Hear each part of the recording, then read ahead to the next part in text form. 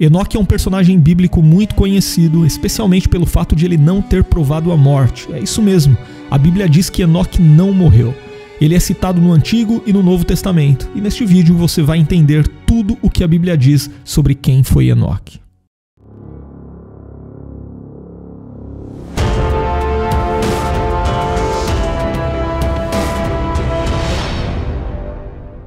Antes de falarmos sobre a história de Enoque, é importante destacarmos aqui que a Bíblia menciona duas pessoas com esse mesmo nome. A primeira delas é o Enoque, que foi o filho mais velho de Caim. Inclusive, o texto bíblico diz que esse Enoque deu nome à cidade edificada por seu pai. Já a segunda pessoa que recebeu o nome Enoque na Bíblia foi o filho de Jared, da descendência de Sete. Então, enquanto o primeiro Enoque pertenceu à linhagem ímpia de Caim, o segundo Enoque pertenceu à linhagem piedosa de Sete, que preservou o conhecimento de Deus. E claro, obviamente foi o Enoque da linhagem de Sete que ficou conhecido por ter sido arrebatado ao céu. Apesar de destacar sua linhagem, a Bíblia também revela que Enoque foi o pai de Metusalém.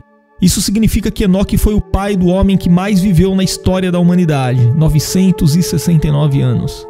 Porém, Metusalém não foi o único filho de Enoque. A Bíblia diz que Enoque gerou filhos e filhas, mas o texto bíblico não registra seus nomes. A Bíblia também afirma que Enoque tinha um relacionamento profundo com Deus. Isso fica claro na afirmação bíblica que diz que Enoque andou com Deus.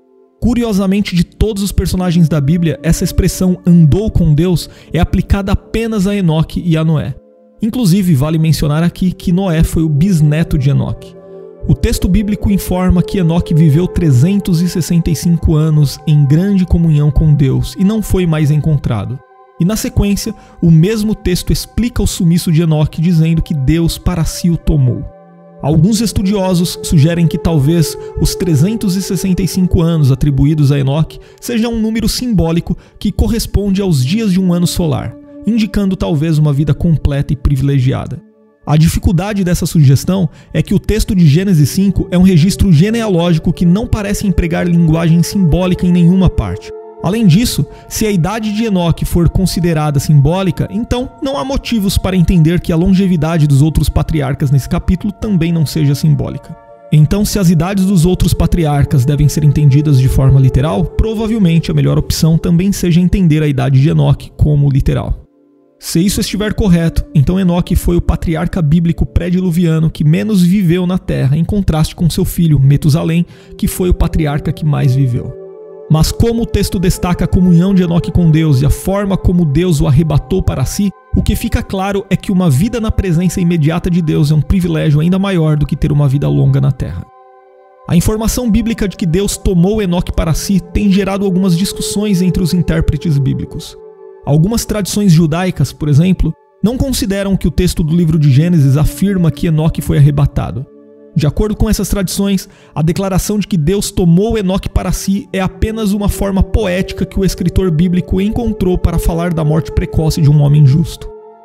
Mas dentro do cristianismo não há qualquer dúvida de que o escritor do livro de Gênesis realmente afirma que Enoque foi arrebatado para estar corporalmente na presença de Deus. Inclusive, essa é a interpretação adotada pelo escritor da carta aos Hebreus ao escrever: Pela fé, Enoque foi trasladado para não ver a morte e não foi achado, porque Deus o trasladara, visto como, antes da sua trasladação, alcançou o testemunho de que agradara a Deus.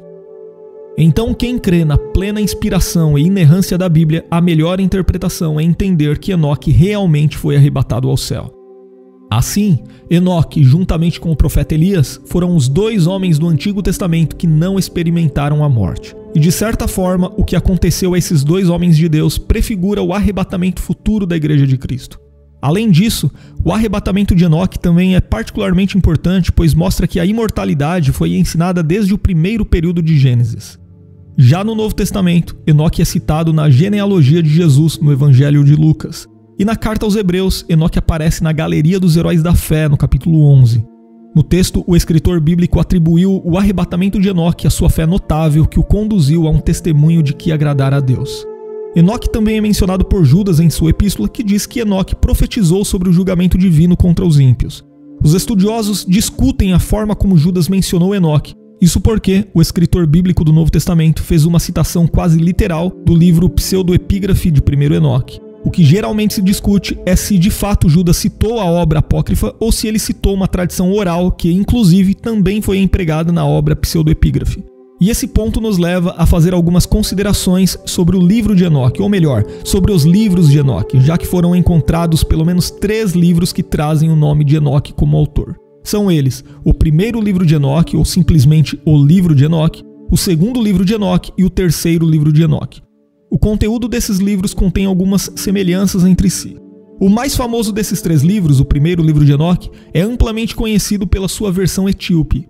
Esse livro já existia no período apostólico e também era conhecido por alguns pais da igreja como Clemente de Alexandria, Irineu e Tertuliano. Mas seu manuscrito original acabou desaparecendo, sobrando apenas fragmentos em grego e etíope. E apesar de os livros sugerirem uma suposta autoria de Enoque, a data mais recuada para a autoria dos fragmentos encontrados vai de 200 a.C., estendendo-se até o final do primeiro século da era cristã. Por isso, os estudiosos consideram que os livros que são conectados ao nome de Enoque não possuem qualquer chance de realmente terem sido escritos pelo Enoque bíblico. Mas, de acordo com os intérpretes, talvez seja possível que o livro de Enoque contenha pelo menos algumas citações do próprio Enoque que foram preservadas e transmitidas por tradição oral. Portanto, de maneira geral, os livros de Enoque são considerados pseudoepígrafos, ou seja, são escritos judaicos que nunca se aproximaram da posição canônica e que também não encontram lugar nos chamados livros apócrifos. E dentre os três livros, sem dúvida o mais importante é o primeiro livro de Enoque. Alguns estudiosos consideram que as seções mais antigas desse livro pertencem ao período dos Macabeus, mas que provavelmente sua conclusão se deu no primeiro século depois de Cristo. Então, esse livro tem alguma finalidade no tocante aos estudos do período intertestamentário, lançando luz ao pano de fundo desse período e fornecendo algumas informações sobre a teologia judaica pré-cristã, embora não possa ser considerado canônico em hipótese alguma. Sobre a aparente citação feita por Judas desse livro em sua epístola, os estudiosos se dividem. Alguns acreditam que Judas fez uma citação de uma tradição oral que também estava presente no livro de Enoque. Outros, por sua vez, acreditam que Judas estava intencionalmente citando uma literatura pseudoepígrafe usada por falsos mestres e conhecida também de seus leitores a fim de silenciá-los com seu próprio material. Além disso, esse trecho citado por Judas, presente no livro de Enoque, parece ter sido fundamentado no Pentateuco, numa passagem do livro de Deuteronômio, capítulo 33, versículo 2. Então, para concluir, nós podemos dizer que, embora existam várias lendas em torno da pessoa de Enoque, tudo o que nós podemos afirmar com segurança sobre quem foi Enoque é aquilo que nós encontramos nas páginas bíblicas.